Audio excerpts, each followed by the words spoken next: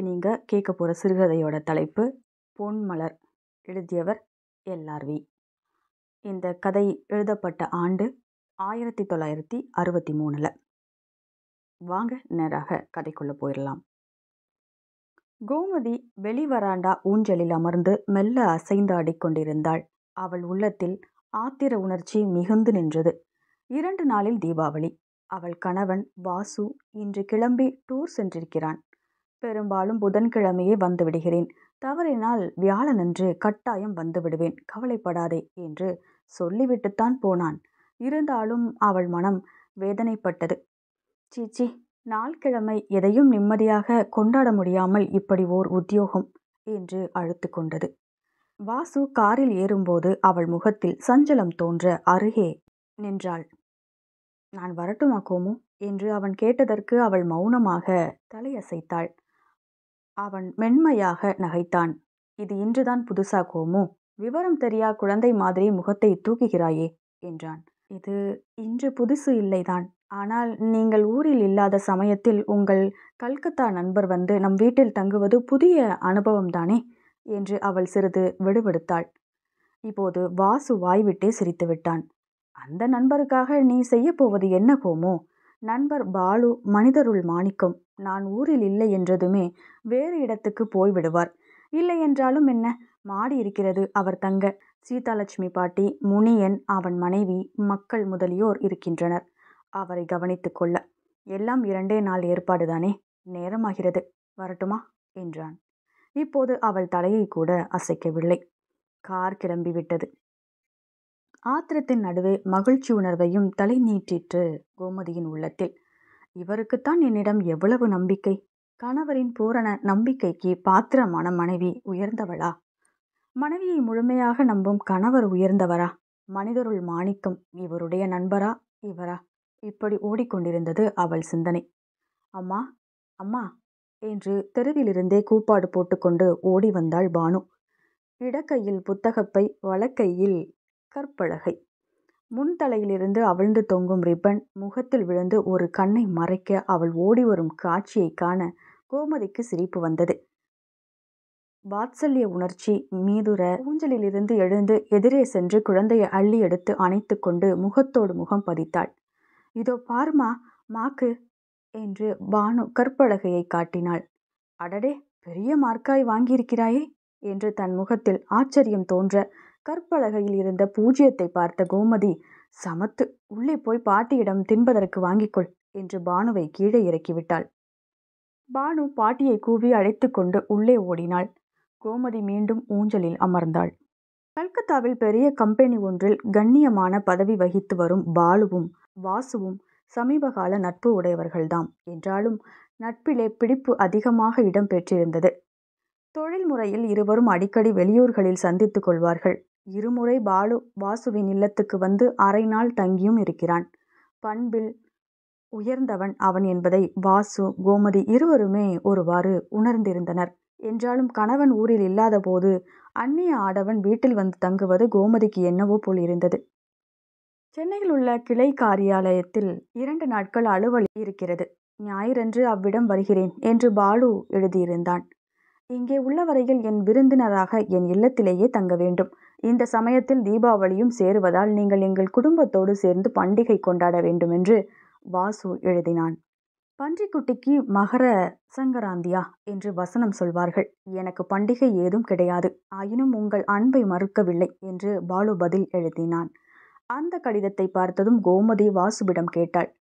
உங்கள் நண்பர் ஏன் இன்னும் கல்யாணம் செய்து கொள்ளவில்லை? என்று. தெரியவில்லை. திருமணம் இல்லறம் குடும்பம் என்று பேச்செடுத்தாலே அவர் முகம் விகாரமாக மாறிவிடுகிறது. அதனால்தான் அவரை நான் எதுவுமே கேட்பதில்லை என்றான் வாசு வறண்ட குரலில். ஒருவேளை காதல் ஏமாற்றம் அது இது என்று ஏதாவது இருக்குமோ? இருக்கலாம். அந்த போராட்டத்திலே எல்லாருக்குமே வெற்றி கிட்டுவிடுகிறதா? என்று கேட்டபடி அவள் கண்ணை ஊடுருவி இளநகை புரிந்தான் வாசு. கோமதி லஜ்ஜை மீதுர முகத்தை தாழ்த்தி கொண்டாள். கடுமையான பல சோதனைகளை கடந்து காதலிலே வெற்றி பெற்றவர்கள் அவர்கள். வாசுவுக்கு மேலாவிலிருந்து திடீர் திடீரென்று வெளியூர் பிரயாண உத்தரவு வருவது வழக்கமாகிவிட்ட செயல். இப்பொழுதும் அப்படிதான். சிந்தனையில் ஆழ்ந்திருந்த கோமதி அருகே காலடி ஓசை கேட்டு திரும்பினாள். விமலா வந்து கொண்டிருந்தாள். அன்னம் போல் அசைந்து நடந்து கண்ணம் குழிய சிரித்தபடி பொன்னை போல் ஒளி வீசி வந்த அவள் வராந்தாவில் சிமெண்ட் தூணில் சாய்ந்து ஒயிலாக நின்றாள். ஏதோ பலமான யோசனை போல் இருக்கிறது? என்றாள். கோமதி பதில் சொல்லவில்லை. வைத்த கண் வாங்காமல் அவளையே பார்த்தாள். என்ன அப்படி பார்க்குறீங்க? என்று கேட்டாள் விமலா. இன்று நீ சுடர் விட்டு பிரகாசிக்கிறாய் விமலா. ஆமாம். ஏனென்றால் அணியும் தங்க பணியும் பட்டு துணியும் மரகத என்று. நீயே தங்க சிலை ஒளி வீசும் பொன்மலர் உனக்கெதற்கு அவை? அழகற்றவர்களுக்கல்லவா அலங்காரம் வேண்டும்? உன் அழகுக்கும் குணத்துக்கும் என்றார். உங்களுக்கு என்னிடம் உள்ள அன்பு முதிர முதிர உங்கள் கண்ணுக்கும் கருத்துக்கும் நான் அப்படியெல்லாம் தோன்றுகிறேன். பொன்மலர் ஒளியை வீசலாம். மனத்தை பரப்பாதே. மனமற்ற மலருக்கு மவுசு ஏது? பொல்லாத பேச்சிக்காரினி அது இருக்கட்டும். நாளை உனக்கு லீவு தானே? இல்லை. தீபாவளி அன்று தீட்சிதர் நினைவு நாள். அதற்கு முதல் நாள் இசை மேதை ஒருவர் வெளிநாட்டு ரசிகமணி ஒருவரும் கல்லூரிக்கு விஜயம் செய்கிறார்களாம். காவிய பகுதியிலிருந்து ஒரு சிறு நாடகம். இசையரங்கு இப்படி ஒரு சில நிகழ்ச்சிகள். நான் இசையரங்கிலும் நாடகத்திலும் பின்னணியிலும் பாடுகிறேன். அவற்றை முன்னிட்டு ஒரு சிலருக்கு ஸ்பெஷல் கிளாஸ் ஒத்திகை என்றாள். வகுப்பு எப்பொழுது? நாள் முழுவதுமா? இல்லை பிற்பகலுக்கு மேல் ஓய்வுதான். ஏன்? என்று கேட்டாள் விமலா. பிற்பகலில் இங்கே வந்துவிடு. மாமா ஊரில் இல்லை. விருந்தினர் ஒருவர் வருகிறார். ஓ விருந்து சாப்பாடு சாப்பிடவா? அதற்குத்தான். எனக்கு துணைக்குத்தான். நல்லதம்மா நான் வரட்டுமா? அவள் எழுந்தாள். கோமதி மௌனமாக தலையசைத்து கை கொடுத்தாள். அவளுடைய பின்னழகையும் நடையழகையும் இமைக்காமல் பார்த்து ரசித்தாள் கோமதி. பைய பைய நடந்து சென்ற விமலா கேட்டை கடந்து அதன் கொக்கியை மாட்டிவிட்டு மறைந்தாள். கோமதியின் உள்ளத்தில் அவள் நினைவு நிறைந்தது. மூன்று ஆண்டுகளுக்கு முன் ஒரு நாள் பிற்பகல் மூன்று மணி இருக்கும். கோமதி தூக்கம் கலைந்து படுக்கையில் புரண்டு கொண்டு கிடந்தாள். காப்பி போட எழுந்திருக்க வேண்டும். சோம்பல் எழுந்திருக்க விடவில்லை. அவள் சோம்பல் முறித்து கொண்டு எழுவதற்கும் வாசலில் அம்மா என்று பெண் குரல் ஒன்று தீனமாக அழைப்பதற்கும் சரியாக இருந்தது. கோமதி வராந்தாவுக்கு வந்தாள். நடு கூடத்திலே பளிச்சென்று தேய்த்து ஏற்றி வைத்த வெங்கல குத்து விளக்கை போல் ஒரு பெண் நின்றிருந்தாள். சுமார் இருபது வயதிருக்கும். உடலெங்கும் அழகும் யவ்வனமும் நிறைந்து ஒளிவிட்டன. அத்தனைக்கத்தனை முகத்திலே சோகத்தில் நிழல் கவிழ்ந்திருந்தது. யாரம்மா நீ என்ன வேண்டும் என்று கோமதி மிருதுவாக கேட்டாள். நான் அனாதை. பிழைப்பை நாடி கிராமத்திலிருந்து வந்தேன். சமையலுக்கு இங்கே ஆள் தேவை என்று சொன்னார்கள் யார் சொன்னார்கள்? மூன்றாவது பங்களாவில் இருக்கிற பெரியம்மாள். ஓஹோ கோமதியின் கண்களில் கருணை ஓளிவிட்டது அம்மா எளிய குடும்பமானாலும் மிகவும் உத்தமமான குலத்திலே பிறந்து வளர்ந்தவள் நான். திருட மாட்டேன் பொய் சொல்ல மாட்டேன் நான் ருசி ருசியாக சமையல் செய்வேன் உங்கள் மனம் போல் நடப்பேன். வருத்தப்படாதே அம்மா உள்ளே வா உன் பெயர் என்ன? என்றாள் கோமதி. விமலா என்றபடி அந்த பெண் வராந்தாவில் அடியெடுத்து வைத்தாள். அந்த வேலை எத்தகையது என்று கோமதிக்கும் தெரியாது விமலாவுக்கும் தெரியாது. உன் முகத்தோற்றமும் பேச்சும் நல்ல தன்மையை விளக்குகின்றன. புண்பட்ட உன் நெஞ்சை கேள்விகள் கேட்டு கிளற நான் தயாராக இல்லை. அலைந்து அலைந்து களைத்திருப்பாய். வா காப்பி போட்டு தருகிறேன். இருவரும் உள்ளே சென்றார்கள். கோமதி காப்பி போட்டதாக பெயர்தான். விமலாதான் எல்லாம் செய்தாள். அந்த வினாடியே பொறுப்பை அவள் ஏற்றுக்கொண்டாள். கோமதியின் உள்ளத்தில் மட்டும் ஏனோ விமலா அந்தமாக நிம்மதியில்லை மனம் ஏனோ அடிக்கடி சலித்து கொண்டே இருந்தது. காலத்தின் கொடுமையால் நலச்சக்கரவர்த்தி ருதுபர்ண மன்னனிடம் சமையல் பணியில் ஈடுபட்டிருந்ததையே அவள் அடிக்கடி எண்ணினாள். விமலாவை ஏவ அவள் உள்ளம் கூசிற்று. ஒரு வாரத்துக்கு பிறகு ஒரு நாள் அடுத்த தெருவரை சென்று வருவதாக கிளம்பினாள் கோமதி. அப்போது பக்கத்து பங்களாவிலிருந்து ரேடியோ இசை ஒளி கேட்டது. ஓ ஜெகதம்மா என்ற பாடலை பிரபல பாடகி விஜயம்தான் பாடிக்கொண்டிருந்தாள் சற்று நேரத்துக்கு பின் வீடு திரும்பி வராந்தாவில் ஏறியதும் கோமதியின் செவிகளில் உள்ளே இருந்து ஓ ஜெகதம்பா பாடல் மறுபடியும் கேட்டது. அவள் திடுக்கிட்டு போனாள். ரேடியோவில் அதே பாட்டோலி மீண்டும் கேட்கிறதே பாட்டு முடிந்தது கோமதி உள்ளே சென்றாள். விமலா தொட்டிலை லேசாக அசைத்த வண்ணம் கூடத்தில் நின்றிருந்தாள். நீயா? நீயா பாடினாய்? கேட்டுக்கொண்டே விமலாவை அணுகிய கோமதி அவளை அப்படியே ஆற தழுவிக்கொண்டாள் பிறகு எங்கே? இப்படி வந்து உட்கார்ந்து மீண்டும் அதே பாடலை பாடு என்றாள். விமலா பாடினாள். கோமதி அப்படியே குழைந்து போனாள். உனக்கு சிச்சை உண்டா? கருதி லயம் உச்சரிப்பு எல்லாம் கன கச்சிதமாக இருக்கின்றனவே. கிராமத்தில் பண்ணையார் வீட்டு பெண்களுக்கு சிற்றை நடக்கிற போது உடனிருந்தும் மறைந்திருந்தும் கேட்டு கற்றுக்கொண்டேன் அம்மா. கீர்த்தனங்கள் மட்டும்தான் கற்றுக்கொண்டாயா? அல்லது சரளி ஜண்டை அலங்காரம் கீதங்கள் வர்ணங்கள் முதலிய அடிப்படை பாடங்கள் அனைத்துமே பயின்றிருக்கிறேன் அம்மா. அடிப்பாவி பெண்ணே குயில் போன்ற குரலையும் தெளிவான ஞானத்தையும் ரதி போன்ற அழகையும் வைத்துக்கொண்டு யாராவது இப்படி அடுப்படியில் அவிவார்களோ? அசடு அசடு சுத்த அசடு நீ என்ற கோமதி சற்று நேரம் மௌனமாக இருந்த பின் சரி இப்பொழுதுதான் என்ன மோசம்? அடுத்த மாதம் உன்னை இசை கல்லூரியில் சேர்த்து விடுகிறேன் என்றாள். வேண்டாம் அம்மா. அழுது விடுவாய் போலிருக்கிறதே ஏன் மறுக்கிறாய்? என் இயல்புக்கும் கலை வாழ்க்கைக்கும் பொருந்தவே பொருந்தாது. அதையெல்லாம் பற்றி உனக்கு மிகவும் தெரியுமோ? பேசாமல் இரு.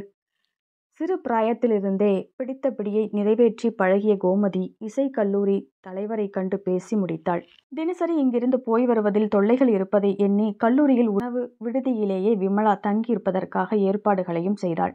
வாசு முழுமனத்துடன் ஒப்புக்கொண்டான். விமலா மளமளவென்று இசையில் முன்னேறினாள். அவளது தகுதியை எண்ணி கல்லூரி தலைவர் அவ்வப்போது அவளுக்கு அரங்கில் பக்க வாத்தியங்களோடு பாடும் வாய்ப்பை அளித்து வந்தார். விமலா இன்று சிறு குறையும் இல்லாத சிறந்த பாடகி.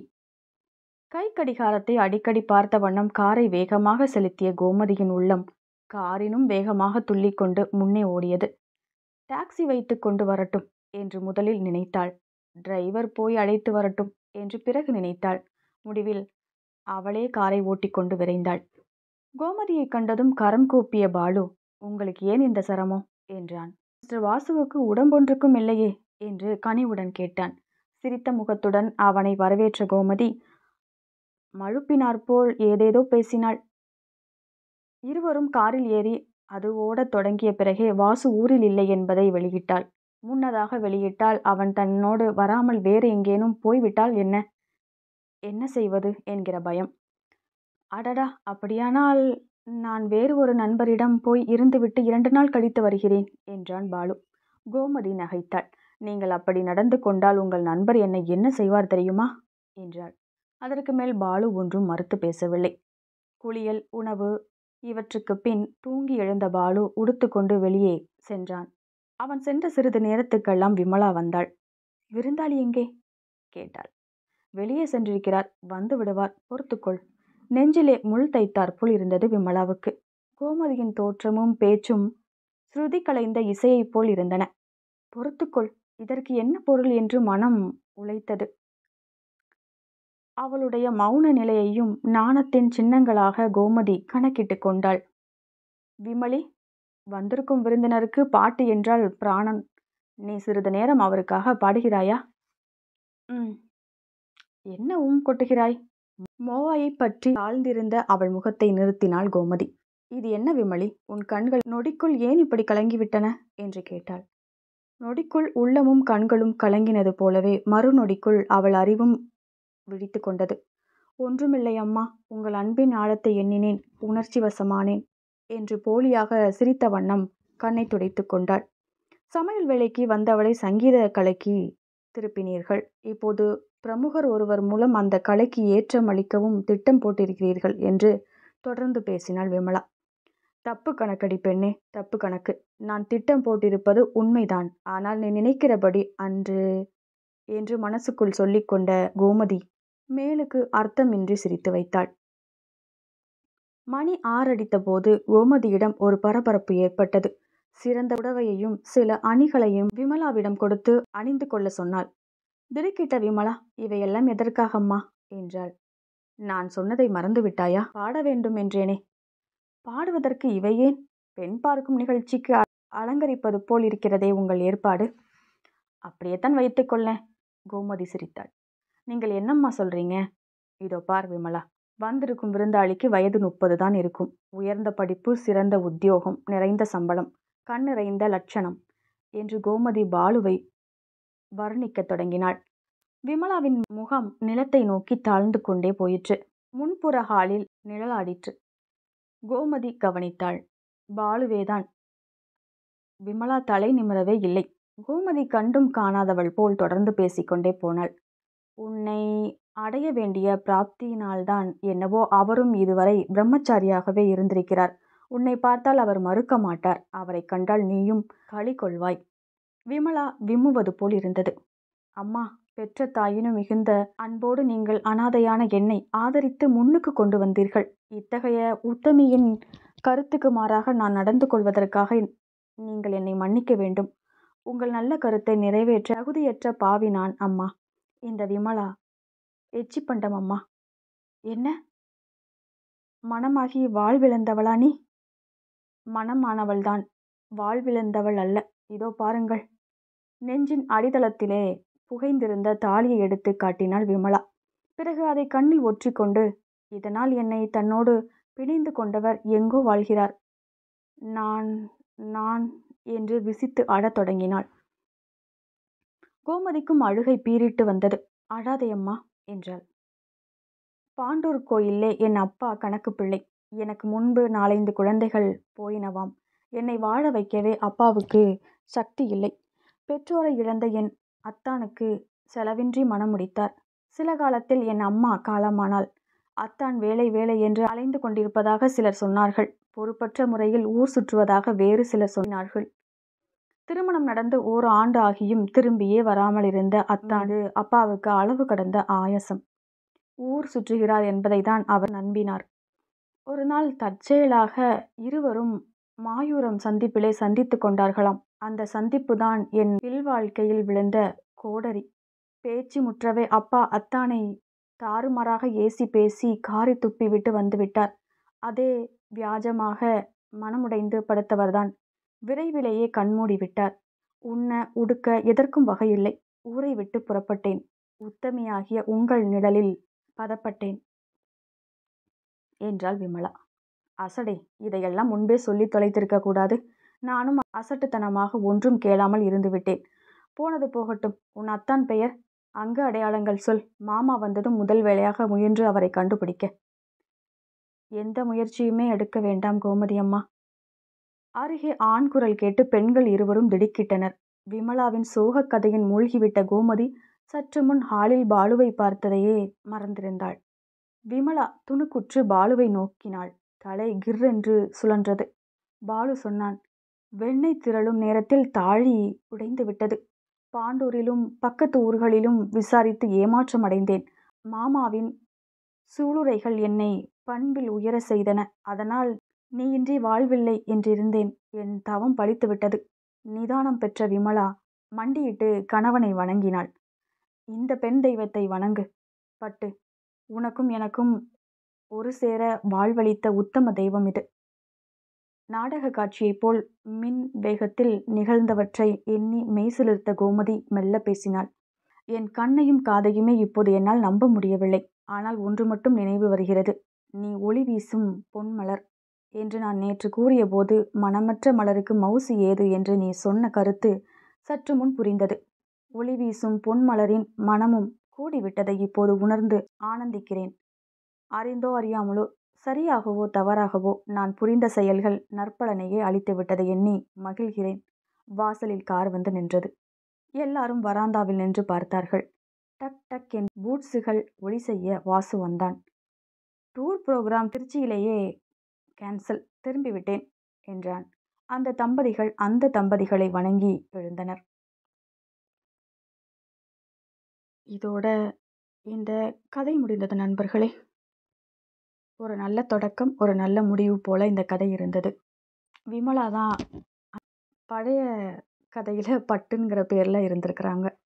கடைசியாக பாலுவும் பட்டும் ஒன்று சேர்ந்தாச்சு. உதவி செய்த கோமதி அவங்களுக்கே தெரியாமல் இவ்வளோ பெரிய புண்ணியத்தையும் செஞ்சுருக்காங்க. மீண்டும் அடுத்த கதைகளை சந்திக்கலாம்.